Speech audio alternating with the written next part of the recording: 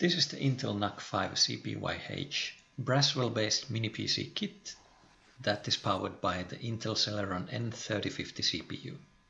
Inside the box you will find the main unit itself. It has the familiar glossy black top. On the side of the unit you will see an SD card reader, which is a first time for, uh, for a NUC. And the chassis is uh, silver color painted plastic, which is a bit disappointing since the previous models had an aluminium chassis.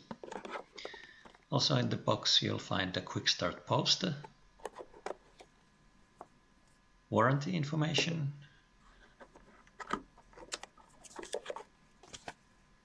McAfee promotional material, most importantly Intel Inside sticker, and a VESA mount with 75 and 100 millimeter mounting patterns.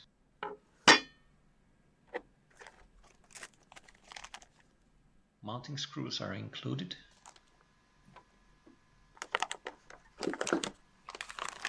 And the power supply. It's made by FSP.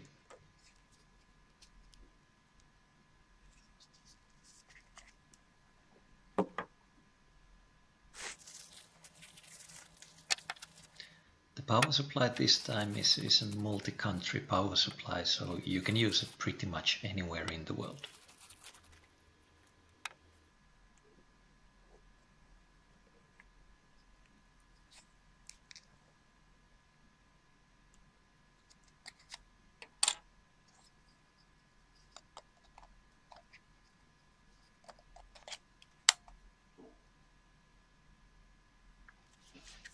That's it. Read more at nucblog.net.